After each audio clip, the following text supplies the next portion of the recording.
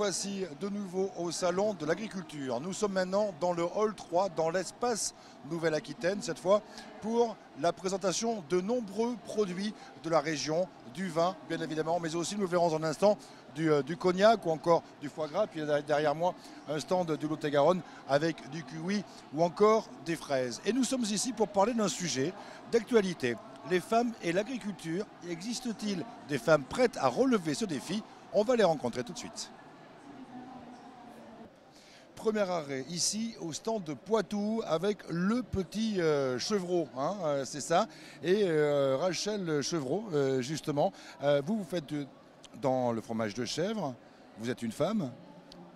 Qu'est-ce qui vous intéresse dans le fait de cultiver, d'être à, à la campagne? C'est un monde, on dit, difficile, compliqué. Eh bien écoutez, euh, j'ai toujours rêvé euh, de m'installer. Euh, je suis fille d'agriculteur. Avec mon mari, on a franchi le cap il y a 4 ans et demi. Donc on a trouvé une ferme dans les Deux-Sèvres. On habitait avant en Vendée où on était salariés agricoles tous les deux. Les chèvres, ça nous a plu à tous les deux. Mon mari voulait surtout, lui, transformer le, le produit en produit fini. On avait pour objectif de vendre à la ferme. Donc aujourd'hui, j'ai 380 chèvres. Moi, je m'occupe principalement du troupeau avec euh, donc du lait, une partie euh, qu'on transforme à la maison et qu'on vend à la ferme. Mais c'est une vie difficile, une vie euh, dont on n'a pas forcément envie, en tout cas par, quand on prend les codes modernes de- d'aujourd'hui. Alors c'est pas facile tous les jours parce que quand on a- on fait du lait, c'est évidemment matin et soir et toute l'année. Après, c'est une vie qu'on a choisie. Moi, je reviendrai pas en arrière. C'est c'est vraiment un choix de vie. On a trois enfants. Ça a été très dur au départ. Alors vous, vous pouvez en, en- en plus être euh, mère de famille, parent, euh, plus des- est-ce que vous, vous arrivez à prendre des vacances? Est-ce que vous arrivez à vous organiser de façon un petit peu plus moderne que pouvaient le faire les, les- les anciens? Oui, alors aujourd'hui, euh, bien sûr, alors nous on a de la chance, on a une salariée, donc ça c'est c'est le, le plus important parce qu'elle fait un week-end par mois, donc on essaye de se dégager un Vous avez un week-end par mois. Voilà, on essaye, euh, sauf les grosses périodes euh, quand il y a les chevreaux par exemple. Mais là, euh, c'est quelque chose qui marche bien. Ophélie nous remplace une fois par mois. Euh, cet été, on prend des vacances. L'année Vous prenez, vous prenez des on vacances prend des vacances. Et les enfants sont ravis. L'année dernière, on est parti. Alors nous, très très stressés parce qu'on laisse les animaux et que du coup, c'est compliqué quand même. Mais les enfants étaient tellement heureux que on se force à le faire. Alors concrètement, vous considérez-vous que vous êtes femme de fermier ou, fermière? C'est-à-dire, très souvent, on disait que le- les femmes travaillaient souvent avec leur, euh, leur mari, mais on disait moins qu'elles étaient euh, fermières ou, éleveurs ou éleveuses. Vous, vous considérez comme fermière euh, à part entière? Alors oui, je vais défendre mon beefsteak, comme on dit. Euh, la ferme, je suis à 50% gérante. Et c'est ma ferme, je ne suis pas femme d'agriculteur. Euh, C'est pas méchant voilà. ce que je voulais non, dire, hein, mais c'est ce euh, qu'on dit souvent. Voilà. Je défends mes convictions. euh, la ferme est à moi et je suis très très fière d'être agricultrice. Voilà, Donc on peut être une femme heureuse et agricultrice. Tout à fait. Oui, oui. Et ça, vous ne regrettez pas euh, du tout. Et en plus, vous gagnez des prix. Donc, euh, Voilà. Alors euh, le- la médaille à Paris, c'était inespéré. hein, ça fait 4 ans et demi qu'on l'a installée. C'est une reconnaissance euh, exceptionnelle. euh, beaucoup d'émotions. On a beaucoup pleuré euh, lundi soir et hier. ah oui, c'est vrai, ouais. À ce point-là. Ah oui, Mais pourquoi c'est aussi important que ça c'est, Je pense que c'est, on peut pas dire l'aboutissement, mais euh, la médaille à Paris, c'est la plus belle. C'est, c'est tous les matins où le réveil sonne, 365 jours par an quand même, À quelle heure? Euh, 5h30. Et c'est, je peux pas l'expliquer. Je pense que malheureusement, c'est peut-être bête ce que je vais dire, mais il faut être éleveur pour le comprendre ça. Mais D'accord. c'est, je suis très émue de ça. je Voilà, vois ça, très ouais. très contente. Je Oui. vois ça. Ouais. Euh, C'est celui-là? C'est pas celui-ci, enfin, c'est presque le même. euh, donc le motet sur feuille, c'est typique du, de, de notre région, on va dire. C'est la brique cendrée qui a été récompensée D'accord. euh, médaille de bronze. D'accord. Mais Mais c'est son petit copain, on va dire. est-ce que je, je peux goûter le petit copain? Allez-y, il a pas de souci. Très bien. Parce que bon, on peut parler des, des gens qui font les produits, on peut les goûter aussi, hein, les produits. Ouais. Hmm. Alors pourquoi le pourquoi Alors- du pain de mie avec du. Le pain d'épices. Le pain du coup, d'épices, ouais. euh, Mais ça se mange pas avec. Poitou, voilà, on mange euh, avec le fromage de chèvre. Ah non C'est un délice. C'est vrai. Ah mais ça. Alors on va. ah oui, Voilà. pain d'épices et fromage de chèvre. Sympa. Le sucré salé avec des bons produits de notre terroir. Ah oui. Voilà. Bah, écoutez, si vous voulez euh, épater euh, vos convives comme ça de façon simple, c'est vrai que des fois on en cherche des trucs euh, compliqués. Et là, pain d'épices. fermier, un Et, petit morceau de bûche fermière ou de fromage fermier. Et c'est parfait. Et je peux vous le dire que ça le fait. Allez, merci beaucoup de nous Merci avoir accueillis chez vous pour ces quelques minutes. On continue, nous, à la recherche des femmes agricultrices ici au Salon de l'Agriculture. Nouveau stand, ici nous sommes dans le Cognac avec Mathilde Bégaud. Souvenez-vous, euh, l'an dernier, elle était venue nous présenter ses produits lors de la précédente émission TV7 au Salon de l'Agriculture. Eh bien, elle est là, à présenter euh, son produit au, au- public. Ce produit, c'est celui-là, c'est du cognac distillé, on va rappeler quand même d'une façon un peu particulière.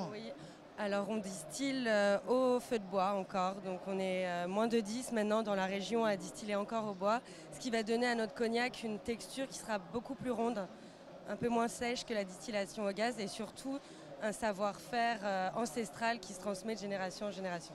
Vous avez 28 ans, vous n'étiez absolument pas dans ce métier au début, malgré le fait que ce soit une affaire entre guillemets familiale. Qu'est-ce qui vous a décidé à, changer radicalement et vous dire bah, finalement c'est ça que j'aime? Alors, euh, la passion en fait du métier, euh, parce que j'ai grandi euh, autour des vignes, j'ai toujours suivi le cycle de la vigne toute l'année avec mes parents depuis petite. Et voilà cette passion que mon père m'a transmise et que son grand-père lui a transmise de la distillation, du temps, de ce savoir-faire. Et euh, voilà, la nature aussi, être proche de la nature. On est en haute valeur environnementale, ce qui est euh, important pour nous de prendre soin de cette nature. À l'époque, euh, des jeunes qui sont plutôt attirés par tout ce qui est virtuel, urbain, etc. Vous êtes une sorte d'extraterrestre avec vos, amis à faire ce choix parce que vous étiez dans l'art visuel, hein, donc ça n'a absolument rien à voir. Les, gens ont compris votre, votre choix de, de femme qui veut retourner comme ça à la terre? Euh, oui, j'ai été encouragée euh, par mon entourage euh, pour ce choix-là. Et oui, oui, c'est vrai que c'est, ben, c'est pour moi nécessaire. Et je pense que de plus en plus de jeunes prennent conscience qu'il est important de, perpétuer des savoir-faire, de, de bien se nourrir, de bien boire et de passer des bons moments. voilà. Vous avez l'impression que le modèle euh, urbain n'est pas forcément celui qui euh, est euh, obligatoire pour les, pour les jeunes femmes d'aujourd'hui? Oui, voilà, le modèle urbain, c'est intéressant parce que au niveau de la culture, il y a énormément à, à voir. Il y a beaucoup de rencontres à faire, mais ça va un moment et après, je pense que c'est important de retourner vers ses racines. Alors, est-ce que lorsqu'on prend cette décision, le fait d'être une femme, c'est un, un atout aujourd'hui ou pas? Alors, un atout, euh, je pense pas, ni un désavantage d'ailleurs. Euh, Enfin, je considère euh, les femmes euh, comme l'égale des hommes. Et à ce niveau-là, je pense qu'on a tous les mêmes capacités. Donc, voilà, je, je- on, on dit souvent que le métier de la terre est un métier difficile. euh, est-ce que les femmes ils sont peuvent y faire face de la même manière que les hommes? Oui, c'est vrai que c'est un métier difficile. Il faut être dehors, euh, avec la nature et, et par- Euh, Pas toujours sympa la nature quand même, franchement. Voilà, la pluie, le froid, la sécheresse. Mais, euh, mais c'est beau. Enfin, moi, je trouve ça beau. Et même si c'est dur, euh, je... enfin, les femmes ont toujours fait partie euh, dans la maison euh, ont toujours été là, peut-être derrière leurs hommes à l'époque. Voilà, c'est ça qui change. C'est-à-dire qu'avant, les femmes ont toujours été dans la production euh, agricole, mais plutôt, elle était la femme du fermier. Là, c'est un peu différent. Maintenant, euh, les femmes sont éleveurs, fermières, viticultrices, une façon de, de- de s'affirmer. C'est important pour vous, ça? Oui, c'est important, oui. Oui, oui.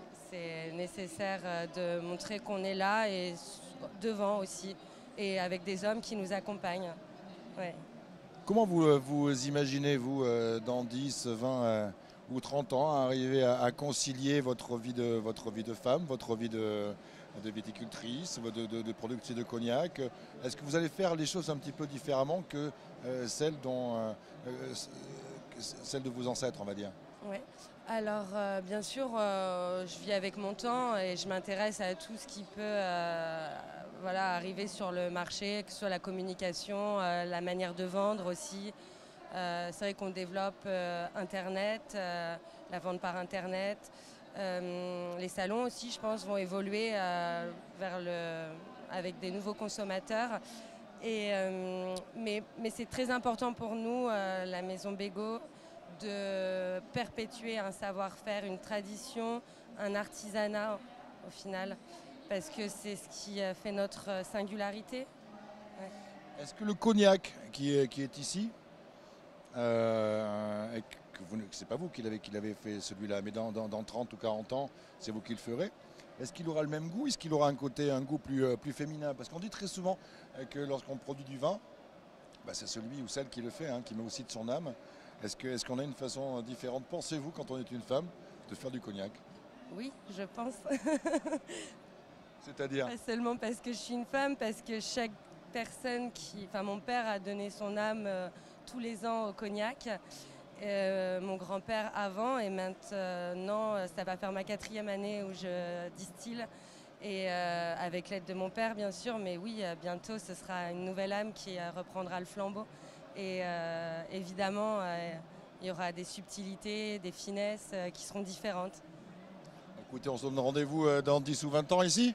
Hein, voilà, il hein, n'y a pas de problème. En tout cas, croyez-moi. Alors, vous savez, hein, la loi m'empêche de le porter aux lèvres, hein, mais rien qu'à l'odeur, croyez-moi. Ah ouais. Bon, bah écoutez, dans un instant, on va faire plusieurs euh, centaines de, kilomètres en Nouvelle-Aquitaine, mais quelques dizaines de mètres seulement ici, dans ce salon de l'agriculture, puisque nous allons nous rendre dans les Landes. Et pour terminer, regardez ce que je vous propose du foie gras, du foie gras de la maison euh, Brougnon. Il est avec nous euh, Lucille Brougnon, future responsable de la ferme Brougnon, hein, si j'ai bien compris. Oui. Voilà, donc tout d'abord, ce sont mes, mes parents qui ont repris le flambeau. Ça fait depuis cinq générations du coup que la ferme de Brugnon existe à Copenhague dans les Landes. Hein. Nous sommes nous-mêmes producteurs fermiers et donc euh, mon frère déjà a pris le relais. Ça fait déjà six ans qu'il est installé. Et vous, euh, vous avez fait quoi? Et moi du coup pendant ce temps j'ai fait quelques études euh, dans l'administratif. J'ai travaillé pendant 5 ans dans un cabinet comptable et ça fait du coup 3 mois que je viens d'intégrer euh, l'entreprise familiale. Qu'est-ce qui vous a pris? Vous étiez, euh, vous aviez un poste à heure fixe, tranquille, voilà, plutôt pas mal payé, j'imagine, en tout cas par rapport aux standards d'aujourd'hui. Là, vous vous êtes dit non, cette vie ne me plaît pas. Voilà, alors c'est pas cette vie me plaît pas, mais j'ai toujours eu à cœur d'intégrer l'affaire familiale. Hein. Euh, comme on peut dire, je suis tombée dans la marmite quand j'étais petite. Hein. Eh oui, c'est ça. Ça, c'est sûr. Hein. Et euh, déjà, tous les étés, je faisais ce travail-là avec mes parents. La vente directe auprès du particulier, c'est vraiment quelque chose qui m'attire le contact avec le client. Et après, bien sûr, valoriser le foie gras, qui est un produit de luxe, euh, est toujours plus valorisant. Alors, vous savez ce à quoi vous vous exposez, parce que vos parents, vous avez vu travailler à la ferme. C'est pas un métier très facile. Vous, vous avez goûté un petit peu justement à la, tranquillité par rapport aux horaires fixes, euh, par rapport à la vie moderne, entre guillemets là encore une fois, et tout ça, vous êtes prêt à l'abandonner voilà, euh, c'est vraiment un challenge, hein, ça c'est sûr. Euh, on se rend compte de certaines contraintes, comme vous pouvez dire, mais je pense que ça en vaut vraiment le coup parce que je connais le produit, je sais comment il est fait et c'est vraiment un produit de luxe, comme on peut le dire, le foie gras, et c'est un plaisir de vendre ces produits-là vous avez des produits de luxe depuis deux fois, donc là, moi, je vais goûter un produit de luxe hein, sur le champ quand même, parce qu'effectivement. Un produit médaillé. Alors voilà, racontez-moi un petit peu l'histoire, parce que hier, quand je suis venu sur le stand, votre maman m'a raconté l'histoire qu'en fait, la médaille que vous avez reçue, vos parents n'étaient absolument pas au courant. Tout à fait. On a souhaité leur faire une petite surprise avec mon frère. Ça fait 25 euh, ans du coup qu'on ne s'était pas représenté. La dernière fois du coup qu'on a eu la médaille, euh, c'était euh, ben, pour ma naissance. Hein. voilà. Donc du coup, on s'est dit, maintenant qu'on est là tous les deux, pourquoi pas leur faire cette petite surprise et ben, ça a été la cerise sur le gâteau, puisque du coup, on a obtenu cette médaille pour notre foie gras mi-cuit. Alors, expliquez-moi concrètement comment vous vous imaginez dans 10 ou 20 ans, par rapport à ce que vous avez vu de, vos parents au, quotidien. Est-ce que vous renoncez à tout ce qui est modernité ou est-ce que vous dites, voilà, on peut très bien être fermière aujourd'hui, et euh, avoir aussi un peu de vie euh, moderne? Euh, voilà, alors nous, ce, ce, que mon frère a commencé à, mettre en place, effectivement, c'est surtout euh, par rapport aux conditions de travail et améliorer tout ça, euh, surtout la partie du laboratoire. Hein. et du coup, on, développe par rapport à tout ça, mais nous, ce qu'on veut garder pendant ces dix ans à venir, c'est vraiment ce savoir-faire, hein, cette tradition, parce que jusqu'à aujourd'hui, c'est ce qui a fait notre force, et on veut vraiment garder ce côté-là. Est-ce qu'il y a une façon un peu, entre guillemets, féminine de, de, faire du foie gras ou plus généralement de s'occuper d'une ferme? Non, ça je dirais que non, il n'y a pas forcément de... C'est compliqué hein, de, s'imposer quand on est une femme dans ce, dans ce milieu, dans ce métier? Non, ce qui est bien c'est que du coup euh, il y a nos parents euh, qui travaillent ensemble depuis un moment. Il y a toujours une... Euh, ils, sont, enfin, ils se... Comment dire ils se complètent l'un à l'autre. Hein. Et avec mon frère, c'est exactement la même chose. On a deux façons de voir les choses et du coup, il y a une complémentarité qui, qui du coup amène à, de jolies choses, comme aujourd'hui euh, notre premier salon de l'agriculture, euh, les deux ensemble. Et chacun a ses idées, chacun apporte euh, différentes choses et on peut arriver à un succès. Donc pour terminer, pour résumer, l'agriculture n'est pas un métier de renoncement pour les femmes et ça peut être un métier d'avenir. C'est ça, on peut dire? Oui, on le voit aujourd'hui, du coup, euh, beaucoup, euh, beaucoup prennent cette décision-là. De plus en plus hein, de, femmes. Voilà, de plus en plus. Euh, certes, c'est pas tous les jours facile, ça on en est conscient, mais quand on aime ce qu'on fait, je pense qu'il n'y a pas de secret, on y arrive. Voilà.